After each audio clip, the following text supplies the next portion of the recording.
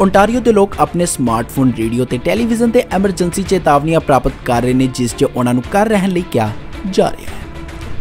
ਤੁਹਾਨੂੰ ਦੱਸ ਦਈਏ ਕਿ ਲੋਕਾਂ ਨੂੰ ਸਟੇ ਐਟ ਹੋਮ ਆਰਡਰ ਬਾਰੇ ਐਮਰਜੈਂਸੀ ਸੰਦੇਸ਼ ਭੇਜਿਆ ਗਿਆ। ਸੂਬੇ 'ਚ ਸਟੇ ਐਟ ਹੋਮ ਆਰਡਰ ਬਾਰੇ ਐਮਰਜੈਂਸੀ ਸੰਦੇਸ਼ ਜੋ ਲਾਗੂ ਹੋਇਆ ਹੈ, ਇਸ ਨੂੰ ਸੋਲਿਸਿਟਰ ਜਨਰਲ ਦੇ ਮੰਤਰਾਲੇ ਨੇ ਸੂਬੇ ਦੇ ਚੇਤਾਵਨੀ ਰੈਡ ਪ੍ਰਸਾਰਣ ਪ੍ਰਣਾਲੀ ਰਾਹੀਂ ਭੇਜਿਆ।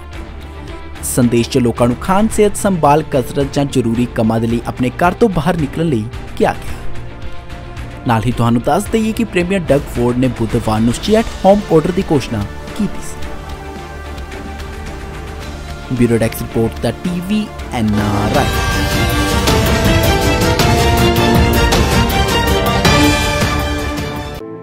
ਜਿਵੇਂ ਕਿਸੇ ਫੁੱਲ ਨੂੰ ਮਹਿਕਣ ਲਈ ਉਹਦਾ ਖਿੜ ਜਾਣਾ ਜ਼ਰੂਰੀ ਹੁੰਦਾ ਹੈ, ਉਵੇਂ ਹੀ ਕੋਈ ਰਿਸ਼ਤਾ ਨਿਭਾਉਣ ਲਈ ਉਹਦਾ ਮਿਲ ਜਾਣਾ ਜ਼ਰੂਰੀ ਹੁੰਦਾ ਹੈ।